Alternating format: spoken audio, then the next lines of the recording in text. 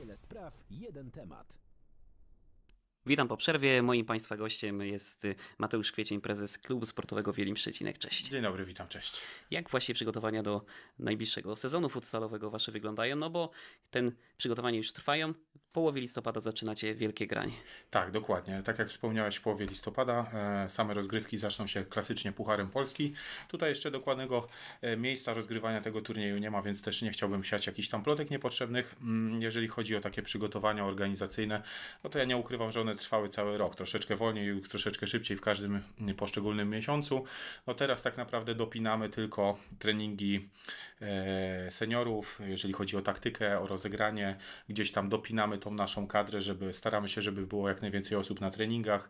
E, Na dzień dzisiejszy korzystamy z hali, z hali na, e, przy szkole przy ekonomiku, ale też e, pojawiła się nowa alternatywa, mianowicie jedna z hal dzięki uprzejmości Osiru, także tam prawdopodobnie w piątki też będziemy mieli treningi, E, więc tak naprawdę no, jesteśmy na finiszu naszych przygotowań, no bo jak doskonale wiemy, już tam powiedzmy tydzień do ligi, no to już raczej wiele rzeczy nie przetestujemy, a tylko będziemy gdzieś tam pewne szczegóły dopieszczać, że tak powiem. Y, Zagraliście też pierwszy sparring. No, wynik wysoki, ale nie to było najważniejsze. Z bardzo te, tak naprawdę wymagającym przeciwnikiem się zmierzyliście zespół pierwszoligowy y, Futsal Szczecin. Na pewno to jest taki fajny sprawdzian. E, Zdecydowanie fajny sprawdzian. Ja myślę, że wynik. Słuchaj, no trzeba powiedzieć jasno, przegraliśmy i dosyć wysoko, ale, ale tak naprawdę nauczyliśmy się bardzo dużo przy tym sparingu, bo e, wbrew pozorom zobaczyć e, niektórych piłkarzy w akcji i to, jak chociażby się poruszają, czy od takich drobnostek, jak przyjmują piłkę, to jest naprawdę bardzo cenna lekcja. E, I gdzieś tam można powiedzieć, że, że wynik faktycznie duży, mm, tylko że też my mieliśmy jak gdyby do, do przetestowania pewne rozwiązania i tutaj ilość, ilość tych rozwiązań, czy tych wariantów, jak powiedziałeś, bardzo nas cieszy, a wynik, tak jak powiedziałeś, jest sprawą drugorzędną w tym przypadku, bo też zagraliśmy niestandardowo, chociażby czas był, nie był zatrzymywany, albo zagraliśmy trzy kwarty zamiast dwóch, więc e, wiadomo, chodzi o to, żeby strzelić jak najwięcej bramek, bo to weryfikuje później e, ostateczny wynik, ale nas cieszą właśnie te przetrenowane warianty. W połowie listopada rozpoczynacie Puchar Polski. Y, W grupie B zagracie z Goleniowską Ligą Mistrzów, no i ze Szczecińską Akademią Futsalu. Jak się na ten puchar zaopatrujecie?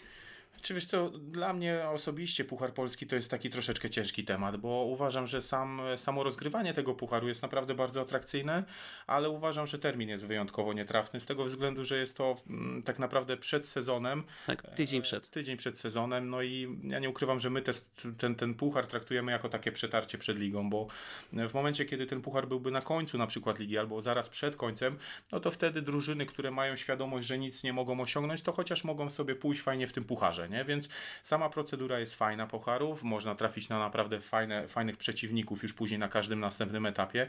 Plusem jest to, że my jako trzecioligowcy większość tych spotkań rozgrywalibyśmy u siebie w domu, E, tylko że ciężko jest tak naprawdę przy, mm, przy amatorskiej drużynie rozgrywać mecze co tydzień, zacząć, go, zacząć je dużo szybciej, no a później przez to niestety odpuścić ligę, więc no dla nas ten puchar jest takim przetarciem, nie nastawiamy się na niego absolutnie. Myślę, że gdybym miał, nie wiem, trzech, czterech nowych zawodników, to uważam, że to jest taki dobry moment, żeby ich przetestować, no ale też nie oczekujemy nic, nic wielkiego po tym pucharze, nie? To też y, trochę tutaj o trzeciej lidze Zachodniopomorskiego Związku Piłki Nożnej, no bo zmiana jest taka, że będą rozgrywane dwie rundy. Mecz pierwszy i będzie później taka runda rewanżowa. Tego nie było wcześniej. Y, Zespoły takie jak y, Szczecińska Akademia Futsalu, y, E-Link y, Futsal Koszalin, Pogopołczyn Zdrój, y, Extra Time Pro Futsal Koszalin, bo tu dwie zespoły, dwa zespoły z Koszalina będą, no i Futsal y, Kołobrzeg. Fajne, fajne granie przed wami. Bardzo fajne, bardzo fajne e, medialnie przede wszystkim, bo jednak duże miasta to przyciąga później kibiców na trybuny. Dodatkowo, tak jak wspomniałeś, mecz i rewanż, co powoduje, że no nie możemy skupić się tylko na jednym meczu, bo e, później, prędzej czy później dojdzie do tego rewanżu, więc tutaj trzeba rozłożyć siły już na większą ilość e, spotkań. E, No ja osobiście uważam, że ta trzecia liga, trzecia liga z roku na rok, z sezonu na sezon jest naprawdę coraz mocniejsza, chociażby świadczy o tym nowa drużyna ze Szczecina, która e, na co dzień powiedzmy w swojej kadrze ma ludzi z przeszłością chociażby z ekstraklasy I futsalowej. reprezentacyjną. I Miałem właśnie o tym tak, wspomnieć. Dlatego, dlatego ja uważam, że dla nas to jest naprawdę strzał w dziesiątkę. Gdzieś tutaj e, medialnie oczywiście e, spróbujemy, w, że tak powiem, popłynąć na tej fali i dobrze to oczywiście zareklamować. No ale też trzeba brać pod uwagę, że no piłkarsko będzie, będzie na pewno trudniej, będzie trudniej, no ale to też jest przed nami kolejne wyzwanie. Jeśli chodzi o wzmocnienia, dużo ich będzie nowych nazwisk, jeśli nawet na ten moment, no pewnie ciężko to teraz określić, ale nowych nazwisk czy będzie tak? Bo tak się kibice zastanawiają. Kibice się Tak, zastanawiają. kibice się no na pewno, na pewno będą nowe osoby, no bo to jest nieuniknione. No my gdzieś tam też stajemy się coraz bardziej medialni i coraz to nowsze Co, osoby. coraz więcej osób się interesuje Wielimiem. Tak, dokładnie, dokładnie, więc przyciągamy te osoby. Ja muszę też powiedzieć e, tak całkowicie szczerze, że tutaj jeżeli chodzi o futsal, no jest to o tyle specyficzne, że czasami mm, piłkarz występujący na co dzień na przykład w okręgówce e, może dać zdecydowanie więcej w futsalu niż ktoś, kto przyjdzie na przykład strzelam z trzeciej ligi, tak? No bo to jest po prostu zupełnie inna specyfika. Zawodnik musi być e, inaczej przygotowany dla tego Jest to do też takie szybkie futsalu. granie na, na, na, na Tak, mniejszym dokładnie, trochę obszarze. Dokładnie, dokładnie. No na pewno, na pewno wydaje mi się, że ta kadra będzie troszeczkę młodsza niż, niż chociażby jeszcze rok temu. E, To, co mogę powiedzieć, to to, że na pewno pojawi się parę nowych nazwisk, no ale też, e, też będą z nami te, powiedzmy, jeżeli mogę tak powiedzieć, te najmocniejsze nazwiska, które były z tamtego sezonu i to, to cieszy. No i wiadomo, to też będzie taka fajna otoczka w tych wszystkich meczów domowych, no bo na, na nie się czeka. No, hala i kibice, no to jest y, tutaj w Szczecinku coś niesamowitego na meczach Wielimia. No tak, zdecydowanie. Tutaj mamy po swojej stronie, że e, mogę śmiało powiedzieć, no największą halę gdzieś tam powiedzmy w tym naszym powiecie, m, która na szczęście wypełniona jest po brzegi na każdym meczu, więc to, no to daje nam da, takiego dodatkowego kopa, bo nie jeden mecz pokazywał, że potrafiliśmy wyjść z trudnej sytuacji po e, fantastycznym dopingu naszych kibiców, no i, no i mamy po prostu... Granie do ostatniej sekundy. Oczywiście, że tak. No, mamy świadomość tego, że nasi piłkarze wtedy walczą do samego końca, no i to przynosi efekt, więc tutaj no, nic tylko się cieszyć i naprawdę robić e, swoją dobrą robotę, żeby, żeby faktycznie ta hala na każdym meczu była pełna. No i fajne też jest to, że ta liga, no jakby w zachodniopomorskim tym futsal jakby no idzie do przodu. No trzeba to Tak, przyznać. tak, tak, zdecydowanie idzie do przodu, no bo to właśnie tak jak rozmawialiśmy o tej drużynie ze Szczecina, tak? No tutaj widać, że bardzo mocne nazwiska.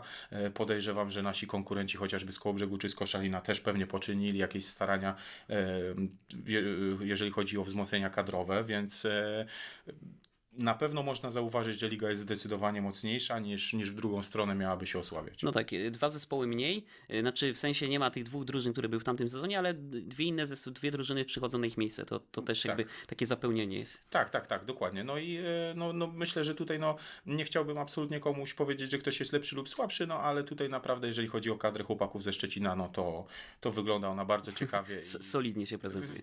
Można powiedzieć, że prezentuje się solidnie. Też zapytam o wątek y, pomocy dla powodzian. Ym, Jakby społeczność Wielimia też się w to zaangażowała. Fa- fajna sprawa.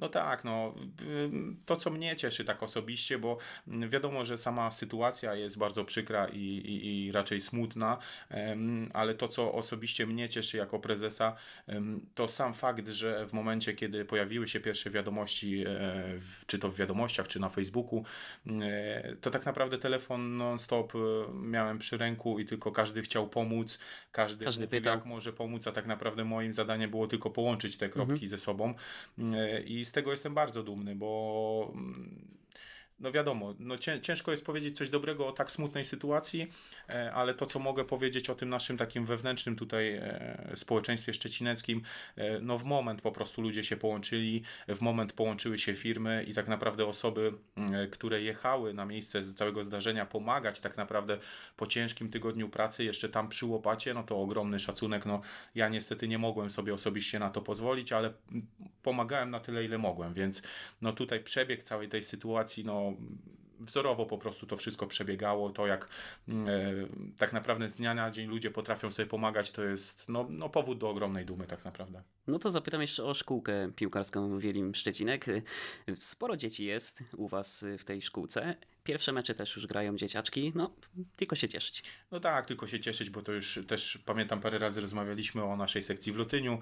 Ja cały czas wyznaję te same zasady, że dla mnie no, szczęście takiego małego brzdąca, y, który po prostu udało mu się strzelić bramkę, no to, to, to jest takie szczęście, którego się nie da w żaden sposób. Taka duma wewnętrzna. Tak, tak, tak, ale wiesz co, te dzieci też, mm, one nie potrafią tak jakby udawać tego szczęścia. To szczęście po prostu z nich płynie, nie? Jeżeli ktoś potrafi czerpać z tego energię, to naprawdę można e, wielkie rzeczy na tym budować. No a nam się to na szczęście udaje, tak jak e, teraz dostaliśmy nowe stroje, doszły do nas komplety sportowe, także te dzieci w momencie, kiedy zakładają koszulkę z naszym herbem, no to no serce rośnie, a tak jak wspomniałeś, liczba jest naprawdę bardzo okazała, no i kolejny powód do dumy tak naprawdę. I też e, taki fajny filmik widziałem no, na tym wczorajszym e, meczu z Mirstalem, rocznik 12-13, jeżeli dobrze pamiętam. No nie mogłem być niestety na tym meczu, ale właśnie dzieciaczki wychodziły i krzyczały Wielim, Wielim Szczecinek. To Fajnie. wiesz co, to, to dwa, dwa razy była taka sytuacja, bo e, mecz rozgrywały dzieci z rocznika 2012-2013, a ich starsi koledzy przyszli na trybuny ich dopingować, a jeszcze przed samym meczem, znaczy przed samym meczem, mecz zaczynaliśmy o godzinie 16. Treningi są od 16.30, więc Kuba ze swoim rocznikiem 2016 też wszyscy przyszli i też jeszcze krzyczały te małe dzieciaczki. Fajna sprawa to jest. No fajna, bo... bo bo Tak, buduje taką naprawdę- fajną jeszcze atmosferę dodatkowo. tak, tak, tak. I te dzieci czują też przez to takie przywiązanie do tego klubu. Ja sam na przykład byłem świadkiem, że niejednokrotnie musiałem gdzieś tam pomóc, e, coś przenieść i tak dalej. I jak ja widzę na przykład małe dziecko, które ma narzutkę z naszym herbem mm, i trener wybiera to dziecko do jakiejś drużyny, no to na przykład to dziecko nie zakłada narzutki byle jak, tylko odwróci ją na drugą stronę, żeby herb był widoczny.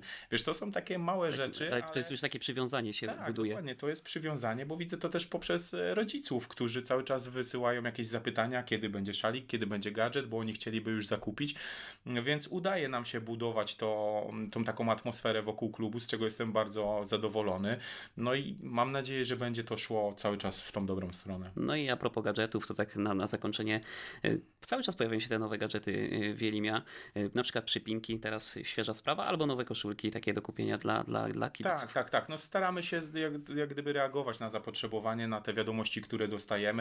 Ostatnią z wiadomości było na przykład to, żeby wyprodukować koszulki dla kobiet i dla dzieci, no bo e, wiadomo, no jednak zdecydowana większość na trybunach to są e, mężczyźni, ale pojawia się coraz większe grono. Wy, e, wychodzicie mam- naprzeciw oczekiwaniom. tak, dokładnie. Mam, które chociażby odprowadzają dzieci na, na zajęcia, albo chociażby tych, tych dzieci, które chodziły na, chodzą na futsal, więc odpowiadamy na każde zapotrzebowanie i, i staramy się na bieżąco uzupełniać nasze zapasy. Mateusz Kwiecień, prezes klubu sportowego Wielim Szczecinek, dzięki wiel- wielkie za rozmowę, no i życzę powodzenia w następnym sezonie. Dziękuję bardzo. Wiele spraw, jeden temat.